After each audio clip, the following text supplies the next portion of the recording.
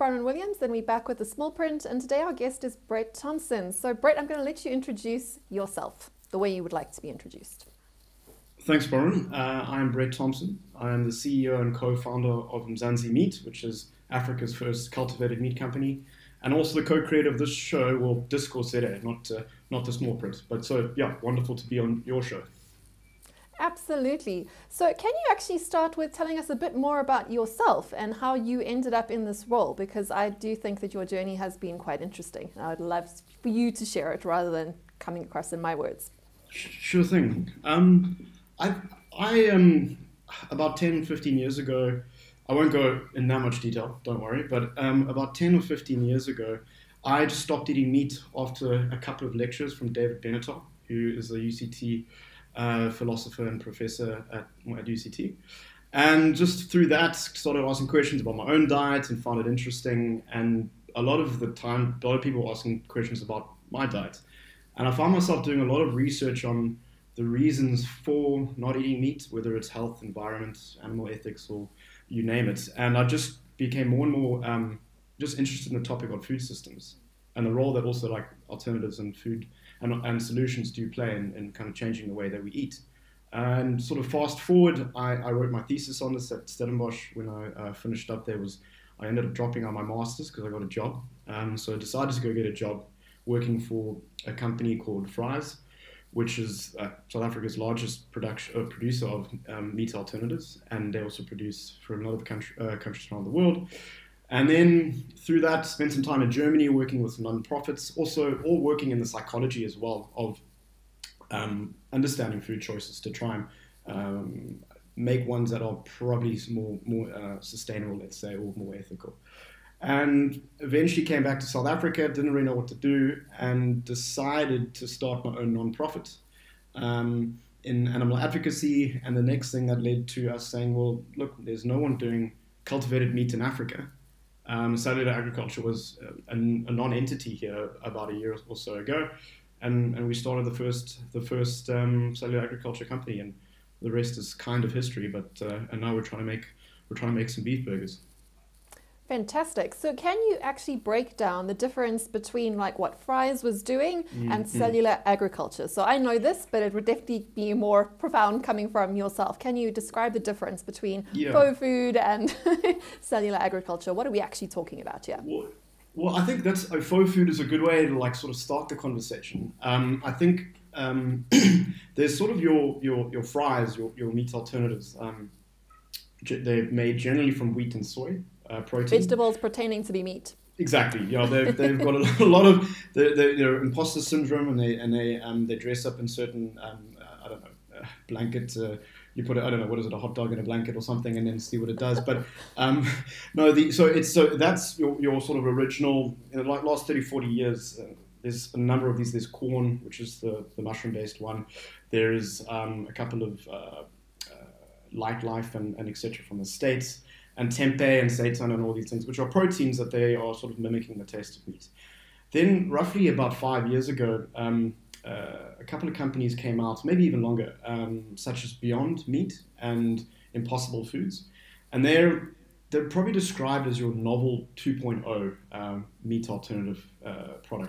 They you know, they use soy as well, but also pea extract, which has become quite popular within this within the space, and they're really kind of you know, they, they got the taste profile a lot closer to what a meat eater was going to be eating. And particularly, they were looking to target meat eaters, not vegans and vegetarians. And I think so they're more convincing fakes. Exactly. Exactly. they're just yeah better politicians. Um, but uh, so they you know they um, they just were able to uh, you know really get closer. A lot more science came behind us. Uh, Pat Brown from Impossible Foods. He's from Stanford University. Um, I've actually been to their lab. Uh, well, you know, it is their lab in in in in, uh, in the Bay Area, and it is phenomenally. It's just big. Firstly, I mean, you just can't believe how much science is around um, a couple of veggie burgers. Um, and so they, they really took it to the next level, and then um, and then after that, Beyond Meat IPO'd, and um, a, a, lot of stuff happened within the space. A lot of money ran into it. So the, the, I call it 2.0, and I think a lot of other people do the sort of next generation uh, meat alternatives. But it still is a meat alternative. So it's taking plants, as you say, it's taking existing proteins and then trying to, um, uh, well, plant proteins and trying to make them taste closer to meat. Um, and I think there's probably a couple of things that we can unpack hopefully in, later on in, in, in how I don't think, I think there's a limit to which consumers will accept something like that. Because it's still, if meat is the end goal, people will always still see it as a less than.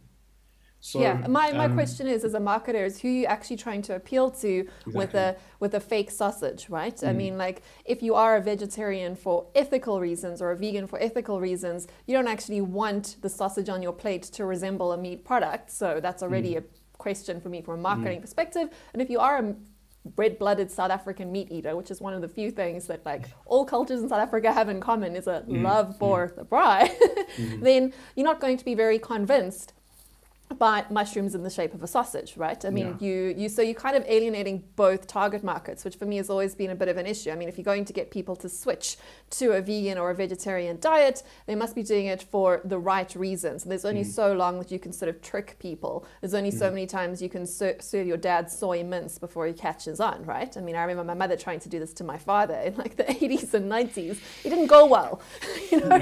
so I think that I think that there is definitely an opportunity to this conversation forward into the future and where technology mm. comes in, which is where your products and services come in, which is approaching this beast, for want of a better word, from a very different way. It's almost a way to mm. give us our so we can have our cow and and eat it too, right? Mm. Yeah, I mean, I think I had that one written down. I wanted to say that line, but you got it first. I um, I look. I think so. You, you, you, you're tapping all the right things. So what what um um what a lot of companies in this space now would argue and what would say. I'm talking about, um, you know, alternate meat companies, uh, uh, plant milk companies, and there's egg, the whole range of, of, them, is that they are approaching and they wanted to target what would be described as a flexitarian. As somebody, which I, the namings of these things really do get to me, vegan, vegetarian, flexitarian, like omniv, like it just Firstly, it adds labels. more labels. So it's labels. more labels, which we do not. Last thing uh, we need is more identity yeah. politics. We don't want it's, that. I mean, I think the, the identity within food is is possibly an under. I mean, I was going to say undercooked, but it is under under like at least spoken about. I mean, it, it's as bad. It's, it's as pervasive. Very tribal. As divisive. Yeah, it's tribal. And I like the way that I like what you mentioned about how the braai or the shisa nyama or the potjie or the the fire brings people to get together. And I think that's something that we identified as Mzansi, is that we want to focus on that. And how do we, how do we, it's not about solving the problem, but how do we, get, how do we, how do we get into that? You know, how do we get into that potjie? How do we get into that fire? So, but I'm, I'm getting ahead of myself, but I, I think the, the, the there is this limited um, part when you are trying to appeal, when, when a, somebody who's vegan and vegetarian after a while, um, my mom hasn't eaten meat for 30 years. She, she uh, doesn't really like the real meaty meat alternatives, for example. Um, my, you know, so I, have got friends though that like who who would go to a burger joint. We've got a, um, Hudson's, for example, in, in, in, Cape Town, and there's a few in Joburg that have got a really good vegan menu, or they have the Beyond Burger, and they will just take the like the normal patty, the beef patty, and swap it out, and then everything else, bacon, cheese, the whole thing, except with a veggie patty. So it's like it's it is bacon. very it's a it's a vegan burger except for the bacon. Um, so there's you know there's it's very difficult to try and understand like how to, what people are motivated by. I think I think there's probably um, amongst your uh, general consumer, um, which we've done a little bit of research on, is that demographic, you know, representative samples would still say something along the lines that they need to eat healthier, they need to um, uh, you know, think about the environment and, and, eating slightly different when it comes to protein as part of that journey. So I think there is definitely that, and I think so that is like the nudge factor that, or the behavior that we're looking um, uh, to to not change, but to sort of work with. So but people yeah. that are reluctant vegetarians who are doing mm. it for ethical or environmental reasons, not just because of a taste preference. Yeah. And that's the demographic that you want to tap into because I think that mm. we, it is important to distinguish that, right? Because some yeah. people don't eat meat because they simply don't like it. There's no mm. there's no sort of ethical question that comes into it. I mean, we all have things that we like and don't like. I dislike bananas. I don't need any ethical reasons not to eat them. You don't need a, you don't need a replacement banana. no one needs to t- no one needs to make me a faux banana in order to get yeah. me to stop eating bananas. That's a silly example, but the more important questions that are coming about, particularly from a policy and from a political perspective, are the ethical and the environmental reasons. And again, I want to separate those two out for not eating so much meat. The ethical reasons are, I think, a, a reason why a lot of people become vegans and vegetarians or stop eating meat is because they simply don't want to be part of the horrific supply chain that involves huge amount of suffering of animals, right? So there's a reason why people that might really enjoy eating meat stop eating meat because they don't want to be part of perpetuating a system of suffering. And there are definitely horrific stories across the agricultural supply chain, which we don't need to get into. We don't want to scare people off from listening to the rest of this mm-hmm. conversation. But there are people that would therefore appreciate a product that enabled them to, as we said earlier, have their cow and eat it too, you know, so to eat guilt-free meat. Mm. But then there's the third layer, which is the environmental issues which are coming on board, where people are feeling pressured to stop eating meat against their will, let alone mm. against their cravings, but against their actual ability to say no. And we're starting to see these sort of resistance to allowing people to eat meat. The conversations around countries should ban their populations, hypothetically speaking, from consuming animal products because of their carbon footprints, for example. So it becomes more of an economic policy question where policymakers are looking at ways to prevent populations and citizens from eating at all, whether they want to or like to or not which is why alternatives are becoming something that we have to start considering, whether it is for environmental, ethical, or personal preference reasons. Yeah. I, look, I think um, I mean on the eth- uh, to move quickly on to the past the ethics thing because I think that is a full on. Um, there's much people that can have that conversation besides me. I think the interesting thing is that people that do cut back or will go vegan or vegetarian or however you describe it for animal reasons tend to be a bit more robust and they continue with it. When you cut back for health reasons or environmental, it's like it is a bit of a sliding scale. So you could be like, mm. well, I'm going to do meat-free Mondays, or I'm going to be cutting, um, you know, I'm going to cut back. I'm not going to eat meat during the week, or some of those lines for health or environmental reasons, which I think any reasons for going in that direction is, is, is helpful. Um, so that's like so. But when you know when people decide to go for an animal point, it's it is generally like an animal rights aspect, and then it is very much like a black or white. You're either in it or you're against it. So I think that's where you see those people that are very um, open and strong, like those typical people, like that you would say vegans on the internet that that, that give everybody uh, activists. yeah, let's yeah, activists. And, and I've worked, you know, in that space for now 10, 15 years, and I I understand the reasons why you could be so passionate about something.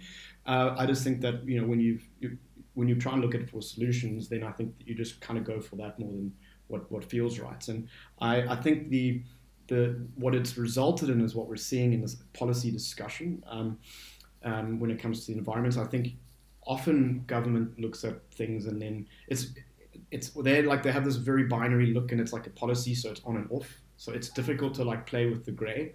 And um, I like, for example, like the Europeans are very much talking on one side of the fence, say like you you know they want to you know they just want to ban and tax and everything our meat. And, and then the other they they support agriculture incredibly. Then they they're also very strict on like labeling when it comes to what you can you call it cheese or do you have to call it cultured probiotics or can you call it milk or does it have to be drink or so it's it's government seems to be very um, and, and I think it makes sense when you've got governments with different incentives and different within a government there's different incentives to how to how to manage um, manage something. Um, and then it's also coming from people that are saying it needs to be a tax or it needs to be something like um, we've actually written um, uh, we've we've written some, done some work on this, on, on whether or not a, a tax on meat would be a good idea um, to, to limit consumption um, with my uh, non-profit credence. And um, it's, uh, you know, I'm, I think it's up for debate, and I think it's a lot of people, particularly on those who are wanting to see change for, for good reasons, to say cut back on meat. It's, I, I don't think it's the most powerful solution that we have at our disposal. And I think when people feel like they're being imposed upon, I mean, like South Africa, when people get booze taken away from cigarettes, they still find their way around it. Um, and that's the same thing that I think when it comes to meat, and I think it'll be even more pushback. And we want to be able to provide a, it's not an alternative, it is meat. and it's and it's a, it's a long term solution that can tick the boxes of animal welfare, can t- tick the boxes of environment, and ultimately will be able to be produced in a in a far more cost effective and, and innovative manner. So I think that's how you achieve longer. Um, uh, a longer change in behavior opposed to trying to force attitudes to change immediately. Yeah, generally, if you can give people a benefit reason to start using a different product or to adopt a new set of behavior, it's better than using coercion or punishments or, mm. or faux rewards, which all tend to sort of diminish over time the more those mm. policies mm. are used and abused. And there's also the question of the ethics of not allowing people to choose products that could, you know, feasibly be actually good for their health. I know a lot mm. of people don't eat meat for health reasons, but a lot of people that don't eat meat for ethical reasons still almost require some of those proteins in order to remain healthy. It depends on your sort of mm. blood type and where you've been. I mean, I know that's I'm not a doctor, I'm not going into that, but there's there's people that that could benefit from having a rich source of protein and that might might want to to do that for health reasons, even if ethically they're quite appalled at the idea. So having the actual thing as an alternative without compromising on your ethics is, of course, I think a generally good thing for the world itself. Mm. So let's talk about the health question because that mm. is the mm. one that I didn't pick up on when I talked about preference and I talked about environmental reasons and ethical reasons. The health questions when it comes to eating meat products can, as I said, kind of go either way, depending on what doctor you talk to, what nutritionalist you get involved with, or what blogs you've been reading. Mm. I am mm. absolutely not anyone that works anywhere close to the to the health space.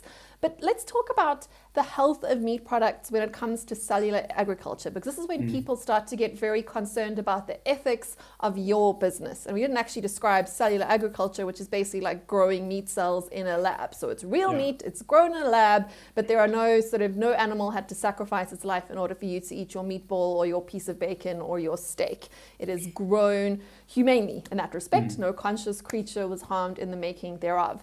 But what about the health of the people that are actually consuming this product? Many people have turned away from meat products for reasons that have come out from health boards across the world saying that certain types of meats do are correlated with chances of getting cancer further down the line or with cholesterol or with heart problems or whatever sort of health issues there are and then there's also the questions, of course, around genetically modified food, which gets people very, very frightened and very, very concerned. I mean, we've seen how afraid people are of even taking vaccines for hmm. COVID. And as soon as you start mentioning things like genetic engineering and cellular grown things, of course, people are frightened because they don't understand what's going into it.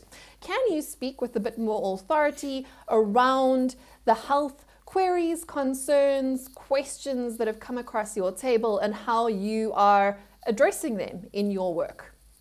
Yeah, I think maybe maybe I can just start with a brief. Um, I probably should have done this at the beginning. Um, overview of exactly our process. Uh, I think that will probably you know, uh, just to kind of uh, there's some some great materials online um, um, that that can go into these these things in detail. But in terms of uh, getting the job done here, uh, we take a we, we take a biopsy from a donor animal. Uh, that's done with a with a with a vet, and um, there's a bit of regulations and, and, to ensure that that's done in the most harm, harmless way and the most controlled way possible. Just um, to interrupt there, you, you used one of the president's cows for one of yours. we yeah, I was I was wondering if you were going to bring that up. I, we um, so. Uh, we've That's asked, a beautiful piece of marketing. look, I've done food marketing for ten years, and and and, and we that's we were always want like we want to say like how are we going to bring cultivated meat to Africa and like the, so the two ways that we're doing it outside of the conventional approach is that we we we're um, going to be working with subsistence farmers and we've already started the conversation there to get you know because we want to get Nguni cattle and these uh, sort of iconic South African uh, Bosmara cattle. The flavor of the meat you get in a South African supermarket, which doesn't taste like the rubbish American meat that you get exactly. anyway, right? Yeah, exactly. So we, yeah, and, just and, to be and, hugely controversial. yeah, South Africa does have. I mean, that's a thing is what uh, we definitely do have very good quality meat for the price that we pay compared to the rest of the world. However, internally, when you look at the country, it's not everybody that can afford it. So for, for when you, as soon as you leave Woolies and, and the Checkers and Sea Point and in Cape Town, and you move into sort of other section, sections of the other suburbs, it's it, it goes to lower grade meats, and you know as you go rural, it becomes even more so, and then and then people are doing a lot of backyard slaughter. So, um, but I digress. Uh, so we definitely want to be working with um, other interesting folks within the food system and bringing them into it. Because uh, one thing that um, we could, you, might, you might not have touched on, but it's also there's a lot of perceptions about what cultivated meat will do to jobs, to the industry.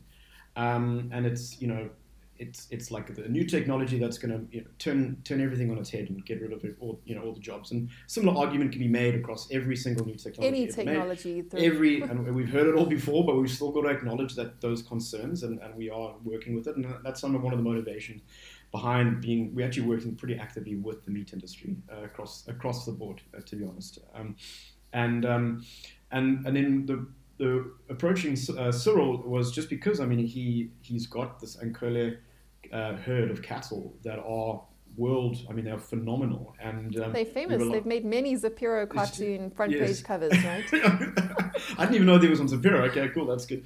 Um, so, and, and we wanted to say, like, look, you know, if some some countries have been um, like governments have been pushed back on cellular agriculture, and we were like, well, let's go to the president and ask for his if he's got literal skin in the game. Uh, and, and then he's going to be feeding his people with his cows that are still worth the 2.7 million rand or whatever they were when they went on auction. We thought it was like just and and um, you know it, the bit of the, the, unrest that we had recently kind of pushed back obviously on some of these plans, but we've had very positive feedback from his circles um, within the space, and we, we, we definitely want to still do it. Um, so yeah, watch this space, and hopefully one day uh, uh, Cyril uh, Ankole burger will be available to to the market. But I um so yeah so a process we take that biopsy. I got I got distracted. We got distracted quite a bit. It's a beautiful story. yeah. okay. Um, yeah. I, it was it was incredible. It was incredible, and like just to say that somebody actually within a space said, okay, this doesn't sound like too bad of idea. I was like, okay, that's good enough. We'll start that. Uh, and, so you take and, the cells. Oh yes, take the cells. Thank you for bringing me back. Let's get back on track. Uh, back, we take the cells, we bring it into us. We work. We've got a, um, a lab, a lab in Woodstock, uh, in Cape Town, and um, we process and isolate the cells there. And it's uh, you know, you take five to ten. You get, you get it down to five to ten thousand cells, which is a very small amount. Uh, it's like yeah, and then we're at the moment we I mean we're a startup, so we're still in a in, in a pretty young uh, young space. And what we're doing um, is at a, what we would say a bench scale and prototype or to pilot production scale. Um, and we then put that those cells in a media um, that they um, that they're used to and that they're comfortable with. And what all we're trying to do is replicate what's going on, Bronwyn, in your in like not just your body, but in everybody's body. Um, and the so what we use is, something called an incubator, and it's it does it keeps the cells at 37 degrees, which is what your cells want and what my cells want. And when they are in that space and they're being fed the right um, uh, it's amino acids, uh, salt, fat, uh, fats, or co-culture with fats, they proliferate and they start growing, and it's exponential. They double like every you know every day almost. And um, when it starts growing to a certain point, it's done in a, in, in a sort of uh, a matrix system, so that these um, that they're growing not on a 2D plane but becoming in a 3D plane, like your muscles.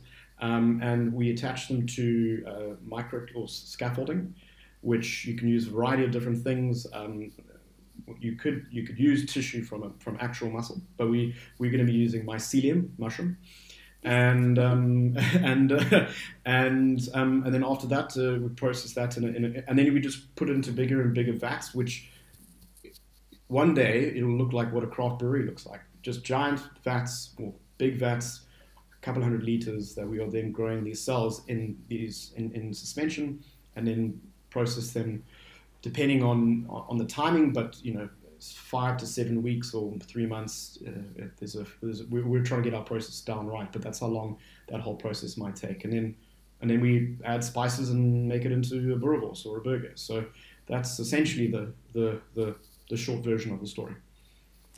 That's really, really exciting. So you've been talking now about how the process is actually done. So you're growing, mm. you're growing completely cruelty-free but real meat. So mm. let's get back to my question around yes, the health concerns that people would have because people mm. are very frightened of technology. I think that we've seen, in fact, I was speaking to Zoltan on the show just before you. He was who ran for the presidency of the United States. He's from the mm. transhumanist movement. And we both agreed that it seems that people are very frightened of technology at the moment. We're in sort of a, an optimism around technology winter or, or drought. People are hmm. frightened. Mm. Things have moved very fast. There have been a lot of things that have moved fast and broken. And as soon as you start mentioning terms like genes or like genetic editing or mm.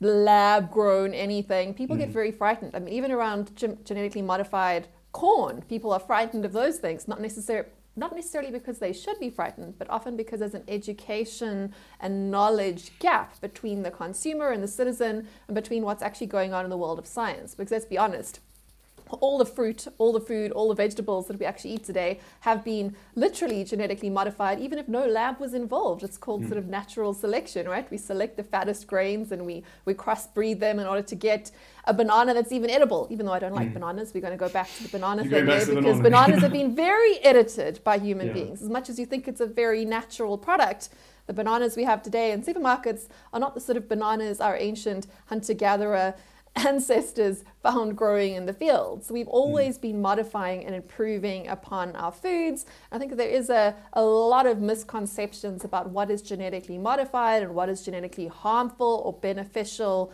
to human beings. So, can you talk to the point around explaining what some of the more legitimate concerns are from people that are frightened of the genetically modified foods and what they will do to their bodies and health going forward, and also some of the ways that you can answer that in your in your mm. current marketing or using science and studies that that you have developed in developing your product. Yeah, I think. Um, there's a, there's a couple of uh, points to, to, to speak to the um, I mean, the one component is the fact that um, large parts of South Africa and Africa, obviously, there's a lot of people that are not getting enough nutrition. So I think your point earlier, which you said that meat and, and animal products do probably play a role with uh, a lot of people getting more nutrition into their diets compared to um, being able to get quinoa and eating only empty carbs yeah, for example. Yeah, exactly. Yeah. So, so, so I think that, that I think that's something that is definitely that I wouldn't um, push back or argue on. And you know, I think we we definitely believe that um, uh, cellular agriculture can play a role in, in fulfilling that nu- nutrient you know gap, or protein gap that's it's available. Mm I mean, I know vegetarians who, who were committed vegetarians for ethical reasons who mm. are reluctantly eating small portions of meat a couple of times mm. a year because their doctors have told them to. Yeah. Not, not because they want to, because mm. they have been sort of forced to by concerned friends and family members. Now, maybe there are yeah. alternatives, but I, am mm. just speaking anecdotally there. Yeah, yeah. I think, I look, I think, well, firstly, like again, um, that's why I like you know what we're doing it because it kind of moves beyond that conversation and an mm, argument. There's just no like um, uh, but then it brings up more of the questions that you were raising at the second part, like how are people going to perceive it that it came from um, a lab or it came from something that it's just new and it's, it's in a climate of such distrust around yeah. science. Trust the yeah. science has never had a worse year. yeah, we do the experts. you know, it's just like those PhDs that come up and say something, and it's like, no, I read a, a blog on something online, and now, now that's my viewpoints. Um, so we, you know, and, and I also had this from working in food for ten years that people um, they go and see an E number and they just say like, okay, um, that's you know, and it, maybe it's derived from like sugar or something or cane sugar or even something even like, like turmeric or, and it, and they just that's it. They're like no E number it's bad. And and I think that's a lot of people's perceptions that um, has been pushed back of this new movement of like locally sourced organic and all this type of thing that says like everything has to be um, from your backyard, which is which is limited, I think, in ability to get everybody um, everybody that yeah yeah exactly. Food like security is a big issue coming forward. You, you, do that you do that a while, and then there's just one shock to the system, and then what? You know, and I, and I think um, yeah, the food system had a, a, tough time over the last eighteen months with trying to. Um, you know, service a, a post-COVID economy or whatever you call it, and, and we we felt it, and and but I, I still think it's a bit more robust than other solutions at the moment. But that's maybe another. The, the, the point going to so there's maybe like to, to, to distill it to there's the fact about the process that we're doing it being like highly scientific that might scare people away, and then the fact about the actual product itself that it, is it healthy. Mm. Um, the, the, the one point is that with the research that we've done within South Africans to date, it suggests that um, um, South Africans are once explained what what we're up to, they're they're pretty comfortable with it, and the consumer perception in South Africa seems to be pretty good compared to other developed countries. And this is kind of um, now you're seeing it in China and India, South Africa, Brazil, I think it's Brazil, versus the, the Europeans and the North Americans who are more skeptical of this new science, which I which I thought was quite interesting. It's a bit um, counterintuitive. Yeah, yeah, you would think, and, and and maybe this whole point of like people are becoming too informed from too many sources and just not knowing know what to do. Um, you know, so I think, and also when it comes down to choices, we've we've had um, very good discussions with people in countries uh, who are doing projects in countries like Malawi when they're looking at, I think it's black fly larvae as a protein source for people to eat, and that's being something that they're like, we want to eat it because it's you know we need protein at the moment. They don't they don't have an access to um, they don't have an access to enough. So again, um, something like um, I'm not comparing us to insects, but um, I'm saying that it's a new type of technology when it comes to food. That people with limited choices who need protein are probably more likely to want to accept it and take it on. So I think that's what we're seeing um, in terms of the research that we've done also in South Africa. Now, when it comes to um, the viewpoints on what's um, you know, we're not a, it's in, with GMOs and all these types of things. I think um, look, I think South Africans um, for the most part, are pretty skeptical when it comes to this, and I think, like particularly with their meat. Um, I think by the stage that we get to scale, when we the, the, the, the process what we're doing now, which is very much lab intensive, is not going to be the process going forward. It's like um, you, we will once we will already be working eventually in an actual food factory, um, and as what or a brewery looking type thing. And I think once we've reached that stage, and that's the way that we make our food, I think the, a lot of those negative perceptions could potentially come down. And big difference is that we will be like, we will have glass walls um, and, and let people come and view what we're doing. Uh, opposed to the current system. So I think those are the, the I think that's going to be a key sort of um, symbolic gesture to showcase that we're not we we're, we're, doing stuff that's highly technical, but we, we want to be um, we want to be pretty open and transparent about it. Um, I think it's it, will be it remains to be seen when it comes to when we become more mainstream about how people view us if they view us in that hoodoo like um, science or or on something that's you know that's something that they can get from um, uh, from the market down the road, um, and that's where we want to be kind of kind of definitely playing. Um, so I think that's that is that remains to be seen. And then finally, when it comes to health, uh, like the actual product itself, uh, you know, somebody asked me the same question on a podcast about a week or two ago, and um, it is meat. So it, it's we, we aren't taking what's um, what is available and we're making and we're replicating without the need to to kill an animal.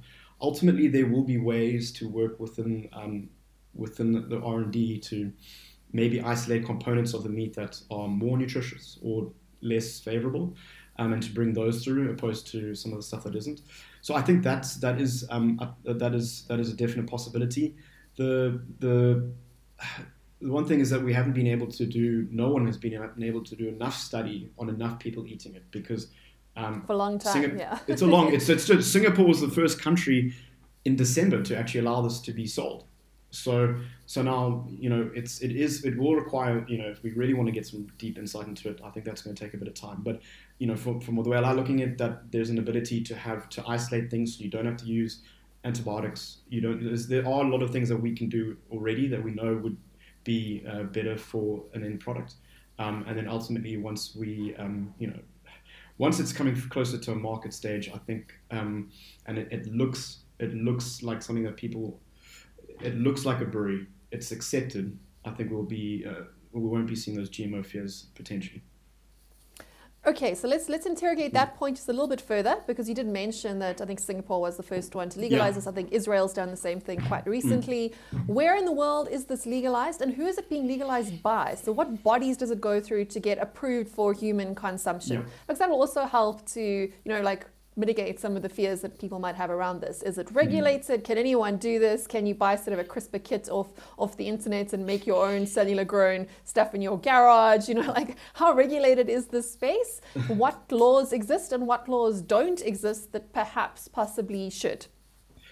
Yeah, I think um, uh, firstly, there's there's a few countries in the world that have um, are far more progressive on this space. So the Netherlands, Singapore, at Israel are sort of the, the three leaders in the world.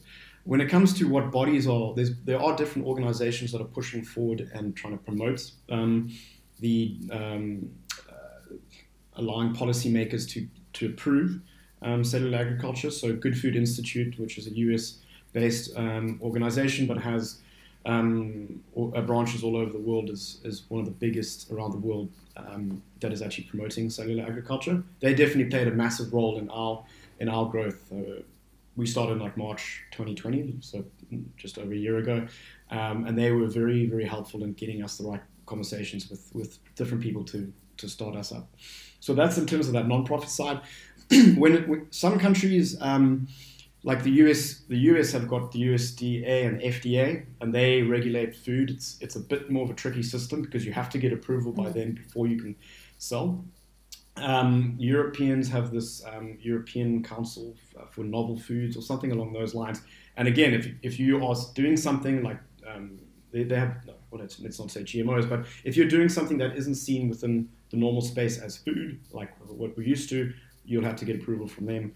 And then Singapore is is another group that have or a country where they've got this novel um, uh, company, well, this not this novel policymaker of government that you have to get approval from, which results in quite a lot of bureaucracy, as you can imagine, um, to to get it uh, across. And I, I, was just thinking, like, it's funny how people. sometimes seem to trust regulators more than scientists. I don't know, just in this, this reign of they conversation. Do, they do yeah, which is yeah, I, you know, anyway, that's um, that's a that's another. Whether that's right or wrong is a, is a huge debate for a different day. Yeah. But, but that's why I brought it up because I think yeah. for a lot of people they wait for like with mm. vaccines, mm. they wait for the FDA full approval. They're like, I'm not going to get my shot until the FDA says mm. so, which is which is sort of secondary. It's it's a strange sort of logic, but everyone is looking for for security, and I think it, it yeah. things are new or if things are frightening, you want as much security as possible. And mm. for many people, the government is still a source of trust, even though many other people listening to this would find that that comment hilarious. Yeah. I mean, yeah, like for a lot of people, it's the only thing we've got to trust. You know?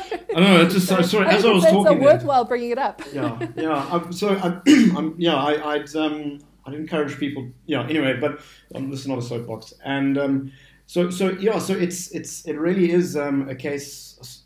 In, in some places, the states, for example, it took forever. I mean, they just were not able.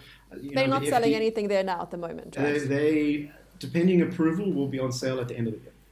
So okay, and in uh, South Africa, what are the bodies that you that you have to work through here that you are currently yeah. working with? I mean, you're obviously the pioneer there, but someone mm. had to start it, you know, like. yeah, yeah, it's um. I, I just want to give you a quick anecdote. Like the um, we were told when we first started this is like you just have to get your policy right. Um, this is from investors and from just everybody within the space but who weren't from South Africa or actually weren't from emerging markets because I think what we're realizing is it is different. And um, you know, the FDA and the USDA, I think the longest time has been spoken about what to actually call it. So they were like, is it cultivated? Is it cell based? Or is it cell cell cultured meat? That was like a long discussion that they had to get right before they could move to the next. So I mean, that's the kind of level that you do have to deal with. So I think there's a lot of people um, in your in, in your audience who would be you know less governmentally inclined would see that like this innovation is there's so many ways that government does reduce innovation. Anyway, um, we we've um, we started this conversation off early because we knew that we you know we just assumed in South Africa it was going to be quite a challenge. There We're early adopters of we, regulation in South Africa. For a developing market, we're very mm. developed in terms yeah. of any piece of red tape. We're happy to take the first the first strip, eh? And it's depends. It's like like I think it's something like sorry, but it's like I think it's a, if Argentina do it, we'll do it immediately. Um, there's just like there's certain countries that we just follow suit like like instinctively. When it uh, when it comes to food, um, it is more grey. There's just a lot of like who actually is doing what. Um, there uh, there are three bodies that regulate our food. It's the Department of Agriculture, and now it's whatever it is now with other other letters, um, and the Department of Trade and Industry, and the Department of Health. And then there's a bunch of regulation and acts around those three um, bodies that then define what we eat and how we eat, and who can um, and how we can bring things to market. And um, so there isn't like this clear like on and off switch that you you go to this, you go to the FDA, you get this approval, you, and then you move on. Um, so we've had to done a, do a bit of like um, digging around and trying to understand the, the, the, frameworks that exist So, for example, the South African, um, and I really I, I, get into regulation discussion, so you must pause me if it gets a bit boring. But no, no, this South is why we have the show. It's to get yeah. people clued up on what's yeah, what policy yeah. and regulation is going to be coming into their space, well, so that people have the knowledge to get involved with the conversation. Yeah, I've, i mean, yeah, we, we got into the small print end of the uh, South African Meat Safety Act, and so that was where we thought we would be have to be playing, and you know, immediately it just says meat is uh, from the carcass of a dead animal. That's the definition according to that act. So we can't, we can't, we don't, we, the animals that we use um, or that we're working with are, are going to be donor animals that carry on with their day. Um, so we had to go. So there's a number of different, like there's the food stuffs, uh, cosmetics, and something act. There's there's a bunch that apply to different places, and it it, it, it almost depends on where you are along the line. So if you, um, when it comes to labeling, it's the Department of Trade and Industry, and that's where you see. Um, the the honey guys going after after anyone that's making things that aren't honey and um, and, and nailing them there. The rooibos um, guys going anyone after that's not rooibos, the champagne. Yeah. Exactly. You know, yeah. I think probably the, yeah, the, it's it's so so the Peppadew. I think he, they also were pretty big. Yes. Um, like, uh, but it's so funny to see like, and I think now it's there's some issue with uh, a butter that's been made that's plant based. So they're like they, they definitely pick and choose areas which they go after as like like I'm going to bring whether the, the product is trademarked or the mm. or the plant or the whatever whatever it is. Yeah, where the trademark it, lies. It's, it's, yeah, and and we it's there's a lot of where areas that where they where they do uh, take you on, and and you know we um, we thought maybe that like um, within uh, the red meat industry might be this, but to be honest, they've had they've they've been almost sort of not welcoming, but they've just been like, okay, these guys are doing stuff, and don't have to really worry about them. Um, so I think it depends on you know the sort of other influence, you know the other groups or um, spheres of influence, and if they think that you're a threat, then they would probably move towards regulation and try to slow your process. So, regulation is ultimately coronation, isn't it? Yeah. Right. The whole point yeah. of regulation is to be on one side of the line and everyone else mm. is on the other side. I think people also have a, a, skewed perspective of what regulation really does. What regulation really does, it protects the incumbents, right? it creates a competitive moat. It keeps some people out and some yeah. people in, much like unions, right? I mean, yeah. this is this yeah. is literally how they function. So they they're not only designed to protect the consumer, they're also very often designed to to protect the industry. So it's in mm. your interest. I mean, let's just be honest. Let's like just talk about the, the elephant or the cow in the room. Mm. That it's in your own interest to develop regulation that protects you as the, the market leader in the space. So mm. as much as there's good reasons to have regulation to come to protect the end consumer too. Yeah, I think it's it's been a very. I mean, like you, you always learn about um, how how industry, it's and it's and it's just what it, it, sportsmanship or what is the, the, the gamesmanship? It just it's part of the what you have to do, and if you don't do it, somebody else was. I I remember um, once previous company they were working for, like the the it was in Shoprite, I think, and um, uh, I wasn't working for Shoprite, but we were, we, our product was being sold there, and a new bunch of folks came in, and they just didn't they didn't bring they had like the nutritionals were all wrong. They were like they clearly hadn't done um, it, yeah, it was it was in, in, incorrectly labeled, a whole bunch of stuff, and you just you don't even need to go to government. You just need to go to the the retailer and say like, look, um, this is, and that that whole product line had to be taken off. So I think there's definitely component, and, and I think you could argue in favor of either side to say like. Um, why uh, this one, you, why you need to protect the consumer versus why you need to allow um, for people to make their own choices in, in, in on shelf. But um, I do think that some that industry is able to kind of use it against new innovation through like the guise of protecting the consumer, and I don't think it ultimately helps. So, um, so I think you know the regulations in South Africa are slightly. Um, we, we're very much encouraged by it. I think like we, we we're not um, we're not jumping for joy, but we're definitely saying that um, we're gonna we're gonna be bringing this to market as soon as possible and regulations is going to be a con factor, but it's not going to it's not going to be the factor that like slowed down the growth in like this America, for example. Um, and it's just about finding the existing framework um, that we can potentially work through. Um, and, and, perhaps uh, getting involved with writing regulation for the space, which, as I mentioned, could could. but that's another. That's yeah, but that's a very long. That's I mean that's a long long headache process. So I mean I think you know I think that definitely in, in the future that that will happen. Um, but I think we'll you need a team and, and patience, I think, to get that. And if you look at some of the acts that have been passed, eh, they've been in draft for three, five years, and um, and that's and people just say, okay, that's good enough. We'll, we'll just let that go. So yeah, I, I, I I'd think be yeah. general South Africans are more concerned about things like property rights and Mm, mm. basic income grants. So these sorts of conversations tend to happen on the fringes. They're not even as mainstream as conversations around the future of cryptocurrency regulation, which is also a new emerging Mm. space where the regulation doesn't fit with what is going on. But there's more eyes on those sort of problems and very, very few eyes on your space at this point in Mm. time. Yeah, I think I think it's it is something that's down the line. I mean, we um, I think as an industry, cellular agriculture is in 2016. I think it uh, there were four companies doing it in the world. Um, in 2013, it was the first burger ever made. So and that was 250 thousand dollars or something to make one burger. Price points dropped down quite a bit now. Um, trust me. And they only Um, started being sold last year, right? I mean, the, the only and the first the first sale ever was in um, in Singapore um, uh, by a company from America called Just, and they had a company called Good Meats because they couldn't even sell in America. So they, they that's why they went to Singapore and the, the and because they knew the regulation um, framework was a bit more friendly.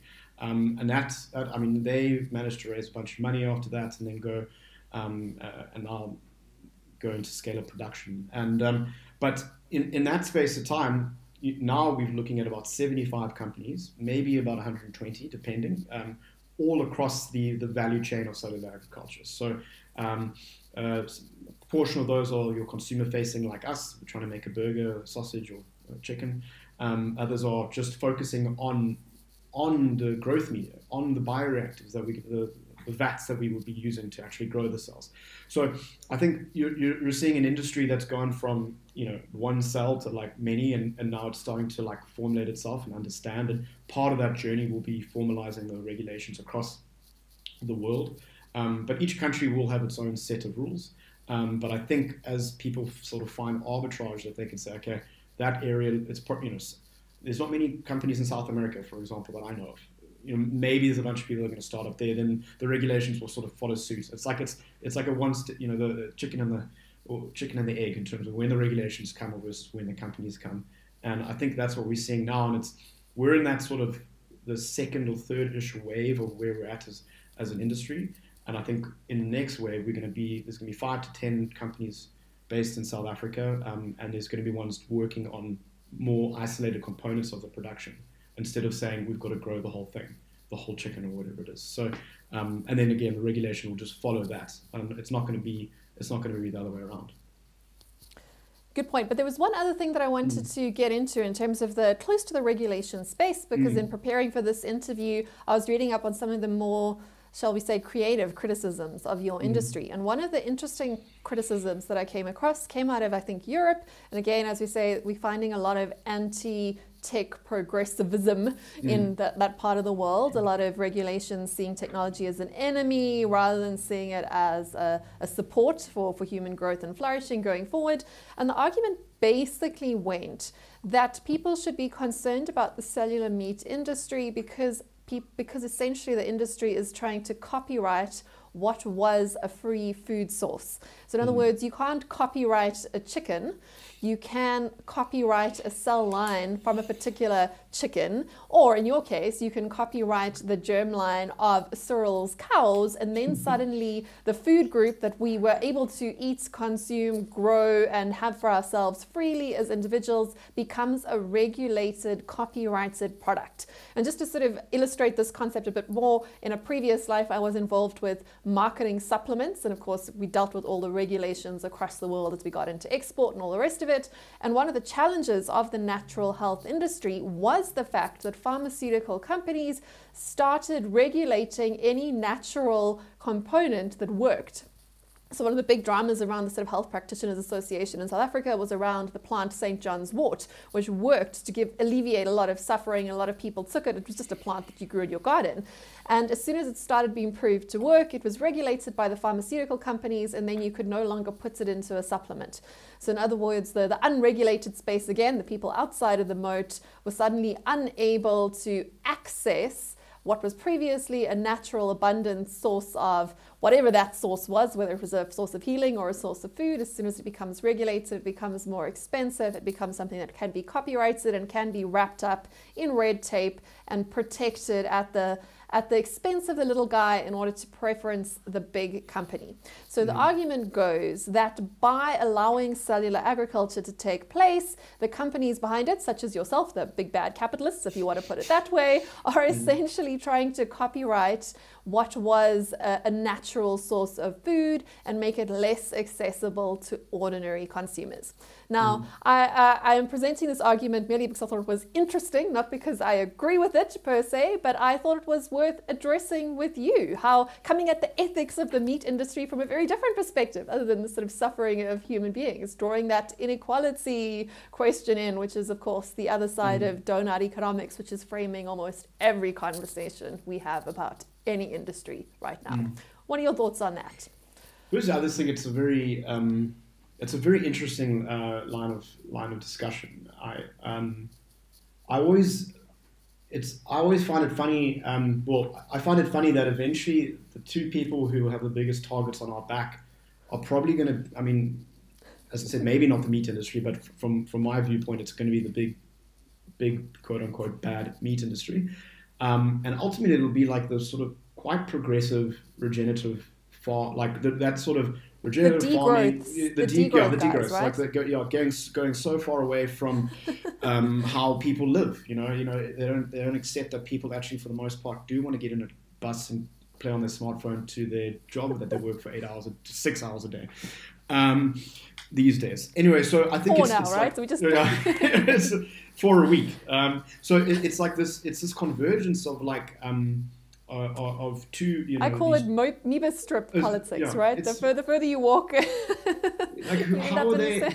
they they're, they're, friends now, and, and, it's it was always interesting when um, I've worked with in a, in a, in a wide space, like very on the you know, just working in retail and like very capitalist type mindset, and then working within a lot of nonprofit space for that same amount of time, and getting to see both and, and seeing um, how things like GMOs have been sort of taken on by a certain group and then almost weaponized, not from their, them actually causing harm, but the perception, and then that resulting in people not getting access to in, in areas which they probably needed. And same thing could be said about things like pesticides, and, and that's another whole discussion. But I think it's a similar, it's a similar conversation that's been had. It's an it's an anti it's an anti capitalist free market conversation basically yeah. i don't know free market's probably the wrong word it's, a, it's an mm. anti-business perspective yeah. as opposed to an anti-product yeah. perspective and it's i mean and it's yeah so it's it's interesting and like um I always liked it. I think um, like enterprise versus like corporates, and I think that's what you want. To, you want to be more on the enterprise thing and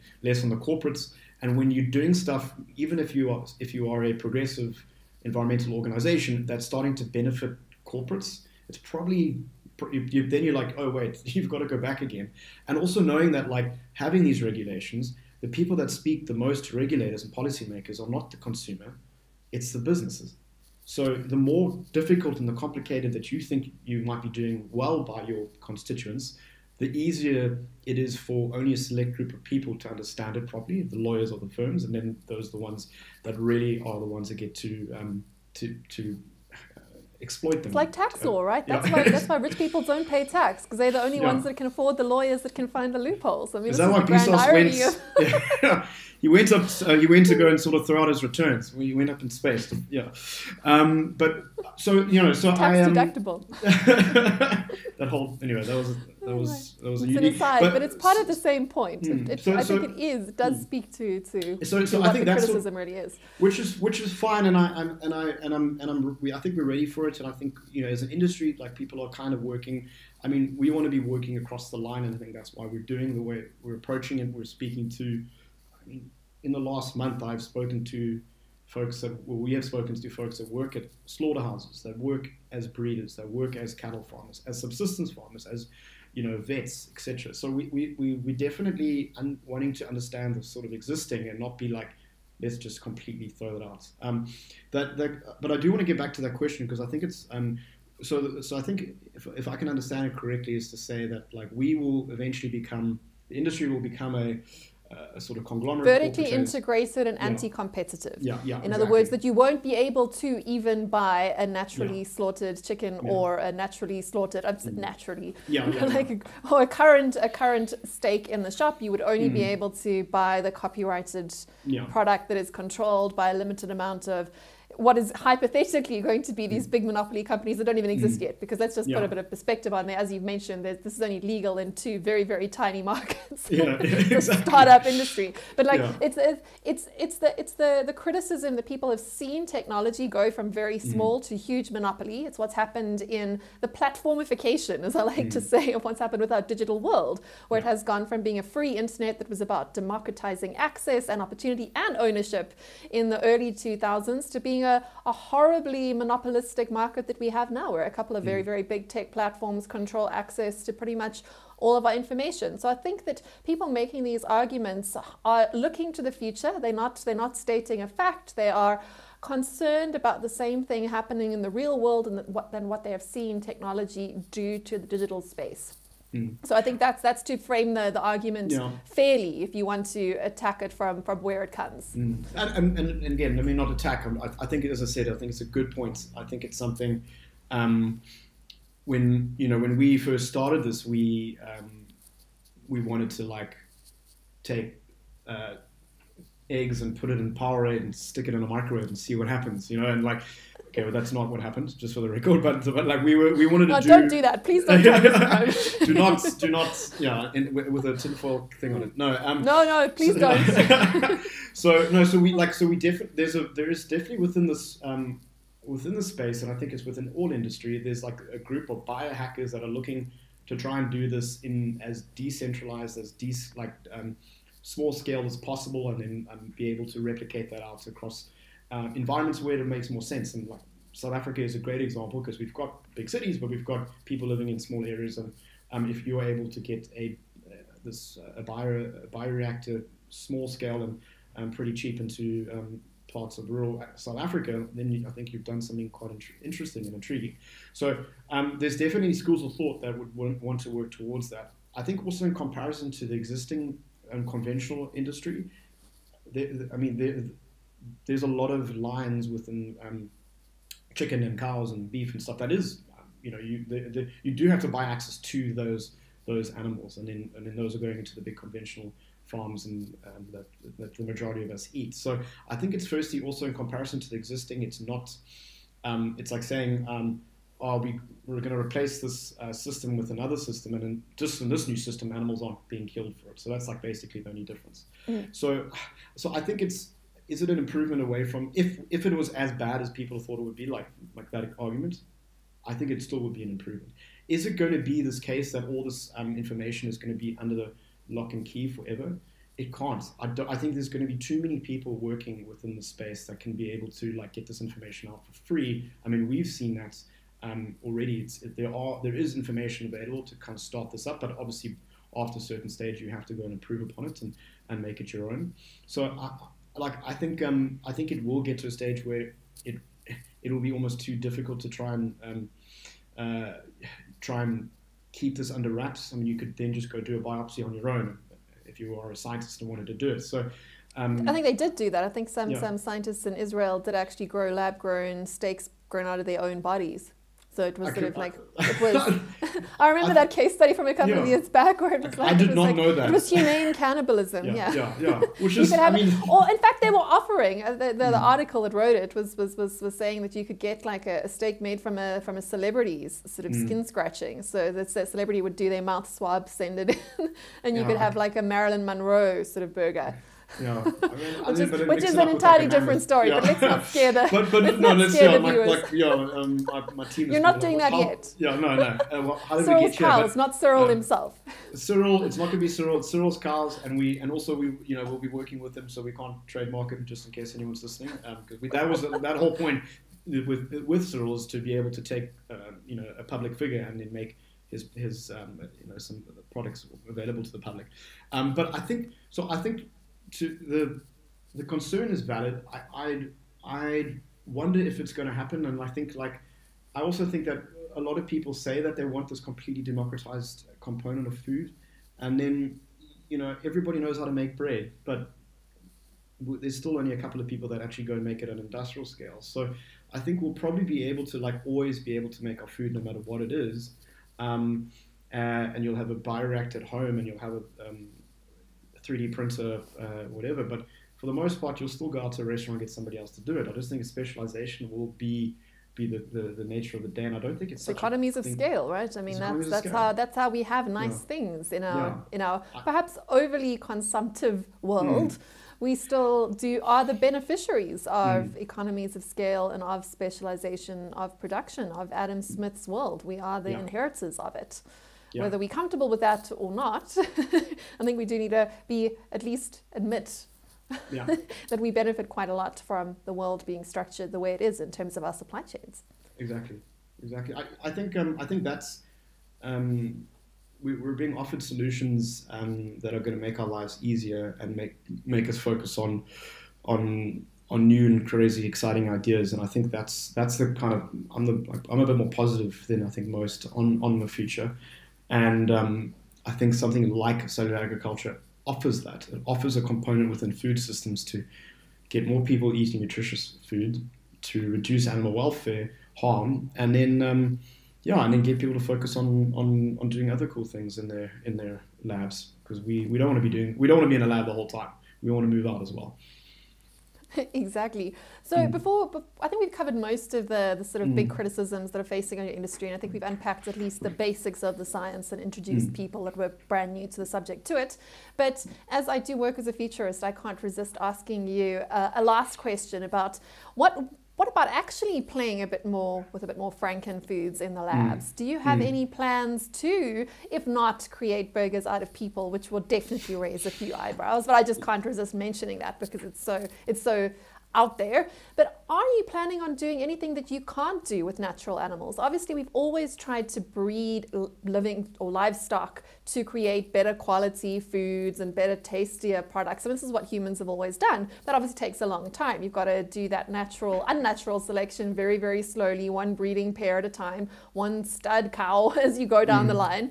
But what can you do in the lab that you can't do with natural animals? Exciting things like like making bacon and lamb put together flavors into mm. one meatball instead of having to combine those ingredients or coming up with entirely new types of meat that perhaps we haven't heard of before. What can you do that we can't do even with our, our cruelty infused current systems?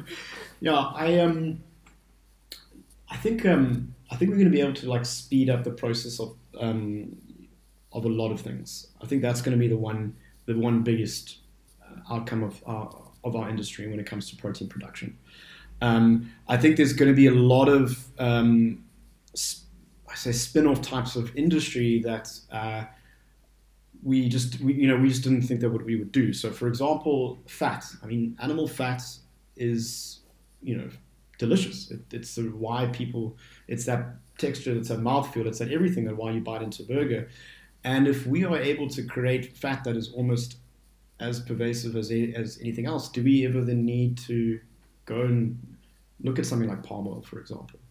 Um, you know, so which is another lengthy discussion, but there's I think that there's going to be externalities of this industry, hopefully mostly positive, that creates um, new foods components of our food foods system. we haven't even thought of yet. Yeah. Entirely new foods, not yeah. just replicating nature like we were speaking about yeah. right at the beginning, but actually using technology to do new things. Yeah, and and then to do and, old things in new ways. Exactly, and I think that's like, and, and that's what you know, the plant-based side of things is about taking the protein and then trying to make it exist to or something existing, and we're trying to find something that's like out of thin air in a sense. And um, and I think the other, the last spin-off um, would be something along the lines within public health that there might be um, discoveries made with what we're doing that might benefit retroactively to like sports injuries or to um, injuries, back injuries, or something along those lines, which we don't know yet, but they might happen because of the work that we're doing. I think then when it comes to the, the exciting thing is yes, I mean we want to make steaks that taste like butter. We want to make, um, you know, very exotic meats potentially. There is a there is another company doing springbok um, cultivated meat, but maybe there could be something more interesting down the line in the future. Something. Can you like re reinvigorate like a dodo burger, for example? If you mammoth, them. dodo, or mammoth you know, steak, yeah. Mm, it's I mean it's it's it is taking from like frozen to uh, uh, frozen a non-frozen is quite a tricky component because uh, but but these are the things that potentially we could do. I think I also think that um, what, what um, so the exotic meats I think we could you know potentially do and, and, and things that are endangered now um, it, there would be no need to rhino horns etc like this there would be no need to go and actually kill a rhino when you can when you can grow the exact same thing. But again that comes down to like the actual perception of it coming from a from a live animal which some people even think with meat. They think it needs to come from an animal that was killed.